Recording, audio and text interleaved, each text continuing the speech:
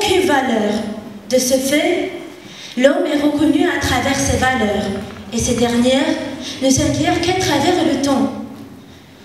Comme vous connaissez tous, l'existence humaine se déroule dans le temps, le temps cosmique et historique, le temps de l'individu, le temps de chacun et des collectivités.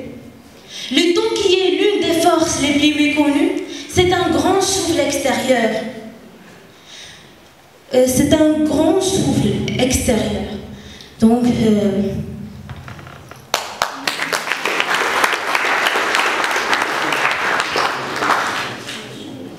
on en attrape un morceau, on croit qu'il compte beaucoup, or il est infini, et on le juge de surcroît, ce qui est très étrange.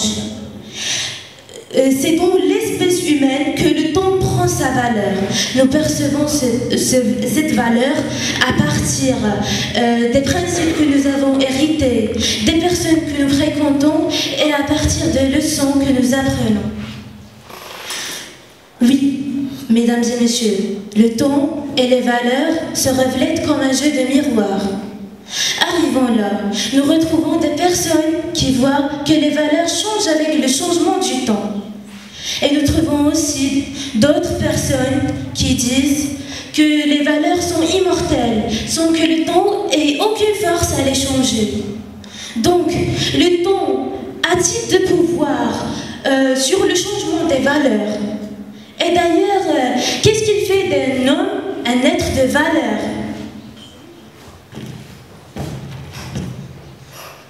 Euh,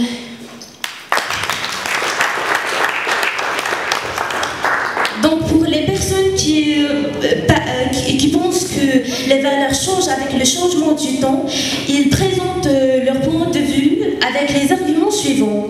Dans un premier temps, une majorité de personnes optent pour la flexibilité et la mobilité, invitant chacun à adapter ses valeurs en fonction de temps qui change de plus en plus vite. le temps actuel promouvoit l'individualisme. Chaque individu met de côté certaines valeurs tout en, euh, et ne pense qu'à ses propres intérêts. Dans un second temps, la valeur la plus dominante dans le temps actuel, c'est une valeur matérielle. Autrement dit, l'argent, les bénéfices, les gros salaires. Tout le monde court derrière la richesse. Euh, tout le monde court derrière les biens matériaux, ce qui peut être à l'encontre de certaines valeurs moraux. Dans un euh, second, euh, pardon, par contre, pour les personnes qui pensent que le temps n'a pas de pouvoir sur le changement des valeurs, ces derniers avancent les arguments suivants.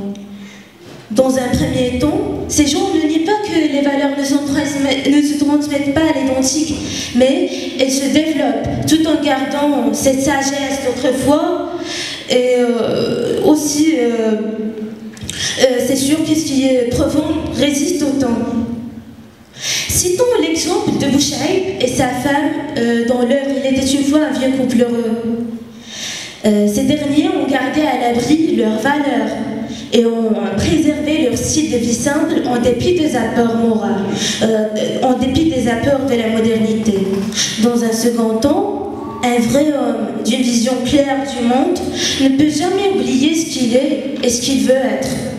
Il s'accroche aux valeurs fondamentales inculquées par ses parents, comme euh, simplicité, honnêteté, respect du travail, euh, écoute des autres, et etc. Prenons compte de l'exemple euh, de personnage candide de Voltaire. Ce garçon a su garder les bonnes valeurs malgré la cruauté du monde. Euh, oui, elle a cédé un peu en commettant quelques crimes comme euh, faire couler du sang, tromper qu'une égante, mais elle a su rendre l'équilibre à sa vie et, la devenir, et devenir la meilleure version de lui-même. À ma connaissance, je peux vous dire que les valeurs sont intemporelles, malgré toutes circonstances favorables ou défavorables euh, auxquelles la personne euh, fait face. Euh, il me paraît aussi essentiel de rester fidèle à ses principes, de rester attaché à son passé et euh, rester attaché aussi à ses traditions et à ses origines. Est-ce que ce n'est pas là où réside la valeur d'un homme? En guise de conclusion, euh, il me semble qu'il faut du courage pour revendiquer un discours sur les valeurs. Le monde actuel est devenu, euh, est devenu un théâtre d'un grand déclin des valeurs, suscité par les guerres et la violation des droits de l'homme. Le rapport au monde est aussi devenu plus frivole. Paul Valéry écrivait juste avant la Deuxième Guerre mondiale, l'esprit est en baisse. La bassesse ou l'élévation des valeurs se mesure à la qualité du temps où nous vivons.